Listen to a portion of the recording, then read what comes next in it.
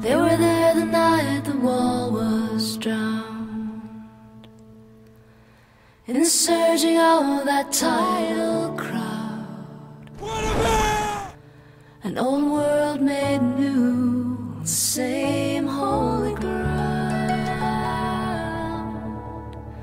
She found him standing, looking lost. Who knows what the future will bring? In the shadow of St. Stephen's Cross.